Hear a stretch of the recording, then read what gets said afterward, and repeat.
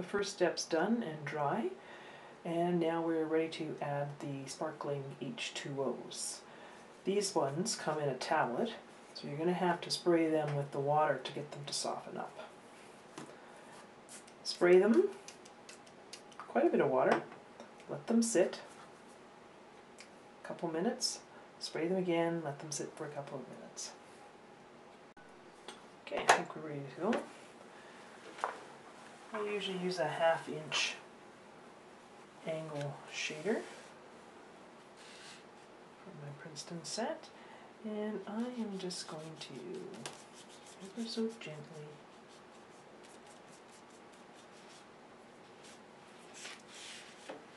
color in some of these little patches here. You're not like watercolors where they flow all over the place. So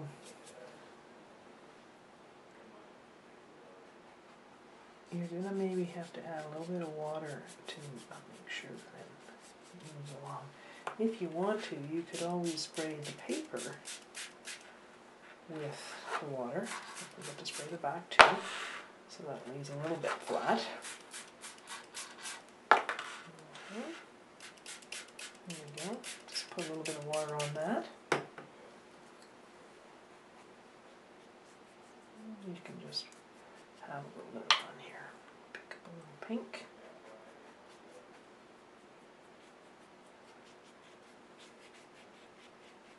You can't rub too much, otherwise you'll reactivate your um, your pewter coloring.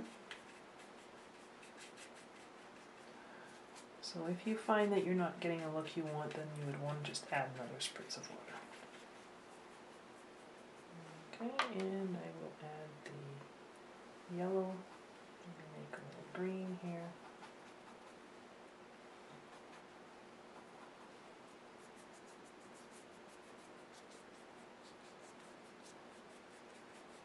Get the idea of the grass. Okay, and again, I'm just going to spray the water on there and let it do the work. Don't force it.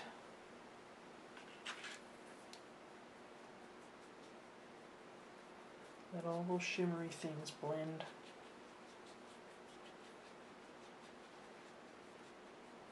There we. A bit more of the blue.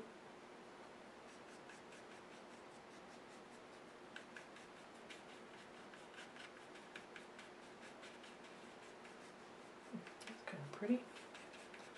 Some of the blue and a little bit of the green. This is where champ is going to be, so I'm not going to worry too much about that.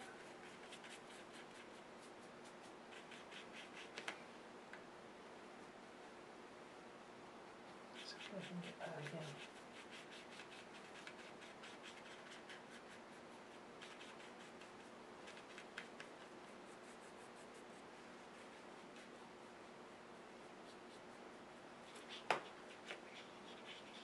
Hmm, kind of like that.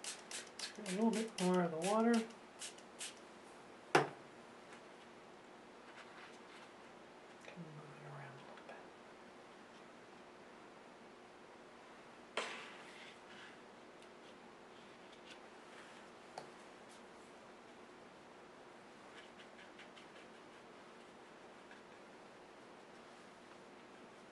If you want to sop something up, you could do that with your your sponge or a mop brush or something like that, just to kind of tap it.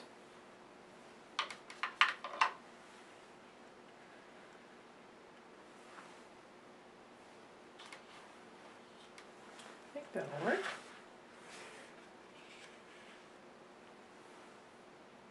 If I decide I wanted to add something more, I'm just going to let that dry. I'm going to come back, I'm going to have another look at it and see what else I want to do.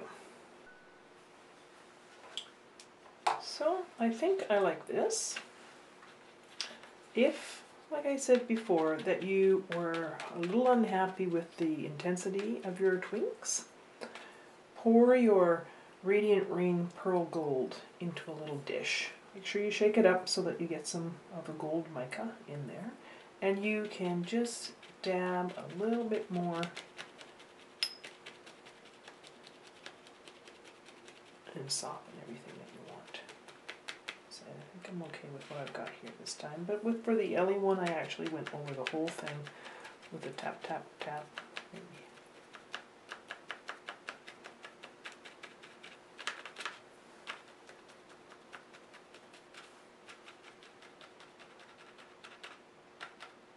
And other than that, don't worry too much about it. It should just be pretty and shimmery and soft. I'll let this dry, then I'll iron it, and I'll put my pattern on and start to use my colored pencil. So have a little fun.